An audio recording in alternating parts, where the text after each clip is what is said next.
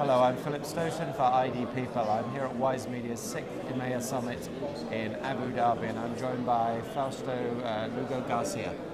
Thank you very much for joining me. You're from, welcome. Uh, Mexico City government. Um, you're going to be speaking in a short while about um, EID and security in the in the city. Yes, that is a, a big project that we implement in Mexico. We install 8,000 cameras. We put in operational five uh, command and control center and one C4. That is uh, to improve the, the life of the citizens, to improve the operational in terms of security.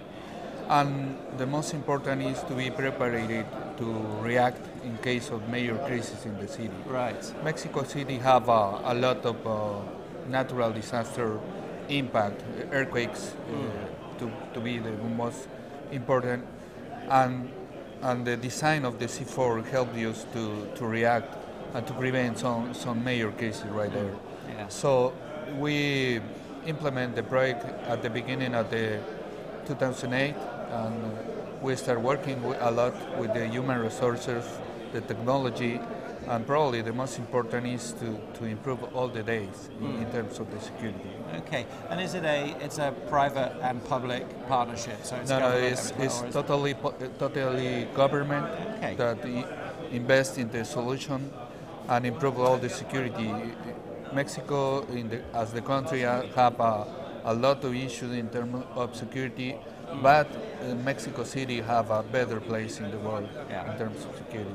And in terms of the importance of security, I, I, I know from, um, for example, the electronics industry, security in the country as a whole is an important element to getting it, getting investment into the country. That, that is really important because uh, part of the uh, investment that is made in, in the country is related to the uh, tourism, to the different kind of companies. Yeah, and obviously, we, we provide security, is, is obviously better better place to, to, to go there.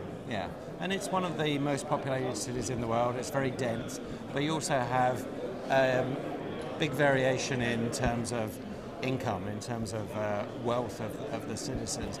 Does that present its own challenges? Of course, that is um part of the solution. Uh, the safer city uh, need to be part of the social programs uh, because you need to, to have the same layer of the uh, social uh, relation.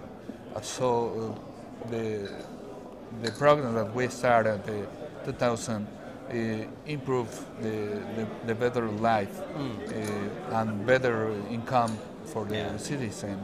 If you uh, take these objectives as part of the security, it really, really impact.